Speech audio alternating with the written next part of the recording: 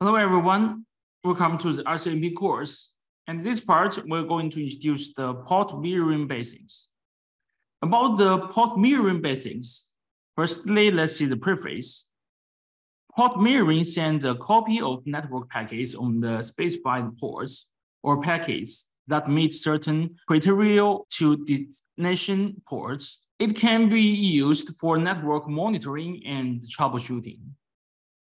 After knowing the function of it, next let's see the local port mirroring principles and configurations. About the port mirroring, here is a very typical application scenario. The traffic matters a lot to OM and the security of a network. Port mirroring can copy traffic to the network monitoring system for analyze. Switch port mirroring also known as port listening or switch port analyzer, which is called span, copies traffic of the listened ports to the mirroring ports. So in the network on the devices, there could be listened ports or mirroring ports, right? And about the span or the port mirroring, there is a port which is called source port. A source port is also called a listened port. In a span session, data flows on the source port are listened for network analyze or troubleshooting. In a single span session, you can monitor the ingress, egress, or bidirectional data flows. There is no limit on the number of source ports, which however is limited by device performance and the destination port bandwidth. And about the source port, it can be a layer two, layer three, or even an aggregate interface. A source port cannot be a destination port. Source and destination ports can be on the same VLAN or different VLANs. And about the destination port, it receives the exact copies of data packets from the source port. And about the destination port, it could be a layer two, layer three, or aggregate interface. There can be only one destination port in a span session. By default, a destination port cannot be a service port unless it has the switch parameter set. Means during the configuration, there is a switch parameter. Okay. So after that, let's see the configuration. A network administrator installs a network monitoring system along the core switch to monitor traffic usage on the internal network, which you can see in the figure. On core switch SW1, all ingress and egress packets passing through the inside interface are mirrored to the network monitoring system.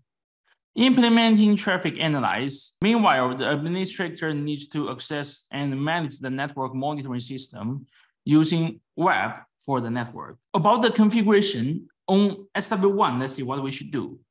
Create a span session one.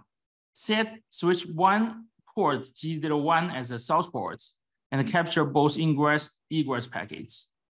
And set port G02 as a destination port. Set the switch parameter. So the command is quite easy to understand. On SW1, the command is monitor session one source interface G01 both.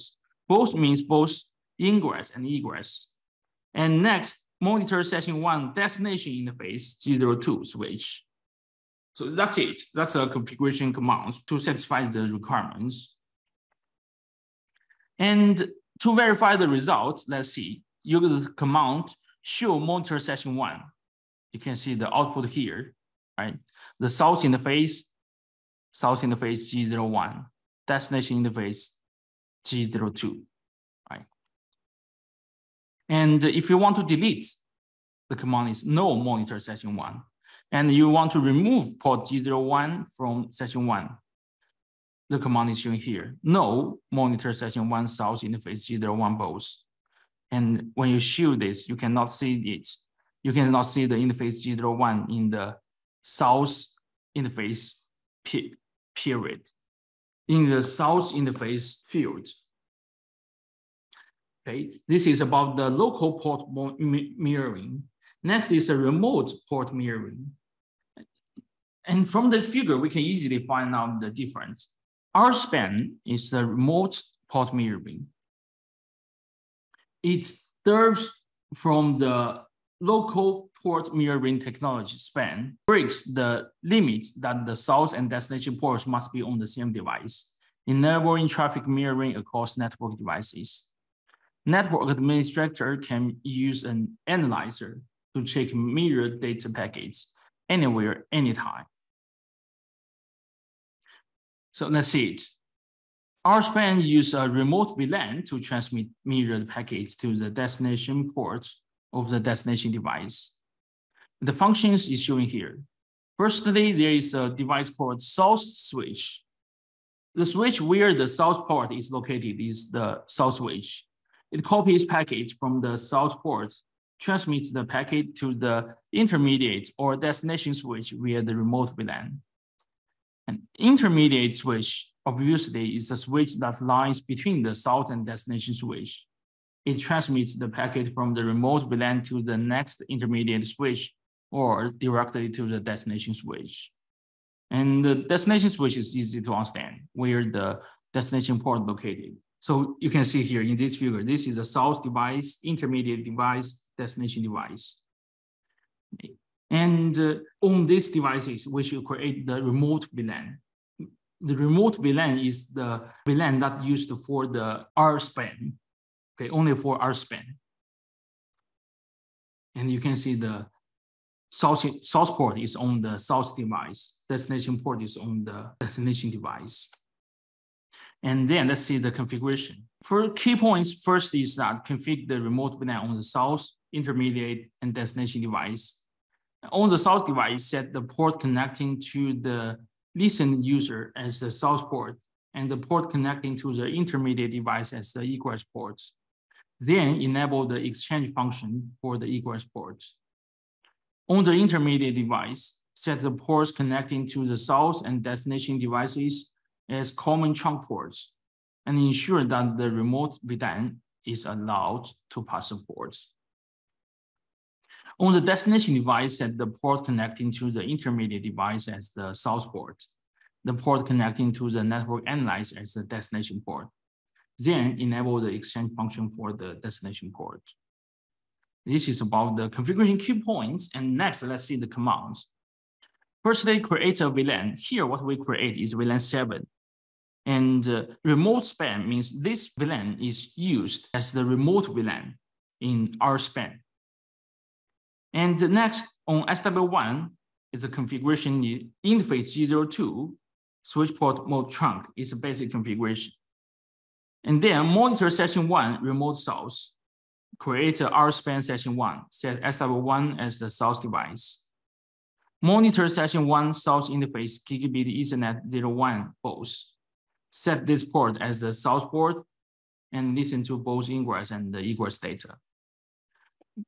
And monitor session one destination remote VLAN 7 means VLAN 7 is a remote VLAN.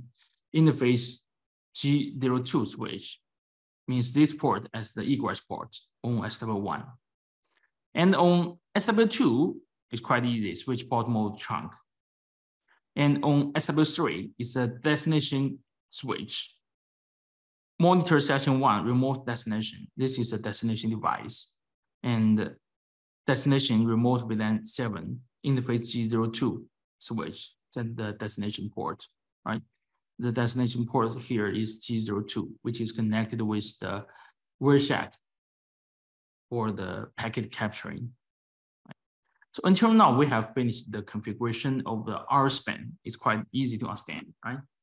Okay, next, let's see the question. To configure port mirroring on Ruijie switches, you need to mirror the ports G01 ingress traffic. Pay attention here, only the ingress traffic should be mirrored. And the destination port is G02, and the ports can forward data normally. So let's see the choice here. You're asking which of the statements is correct. A, monitor session one, source interface G01 both. This is incorrect, right? Of course, we only need the ingress traffic. So B is incorrect. C, RX means receive, so it's a ingress traffic. D, TX means transmit. So D is, of course, here what we choose is C. Okay, this is about the answer of this question. And about this part, let's see a summary. Port mirroring copies data from a port to another port, which can communicate normally by adding the switch parameter.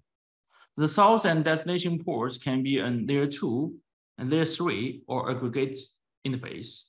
Remote port mirroring applies to scenarios where the source and destination ports are on different devices. A remote VLAN can be used to transmit captured packets. Okay, that's all for this part.